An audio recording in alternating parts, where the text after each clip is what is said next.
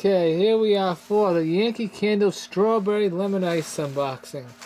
Now this is definitely a candle that fits the springtime. You've got a lemon here, you got a strawberry, you get that icicle kind of thing, whatever it's called, popsicle. And um, let's take a um, yeah, the 22. Oh, we should. I keep forgetting to look up the pour dates.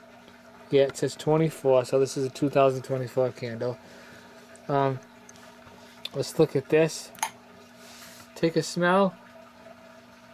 It's a it's a pretty light smell, but you definitely smell something. Um, you smell this. It'll definitely smell a lot better when you light this one off. It's nice to have this smell though. Okay, that's it. Bye bye.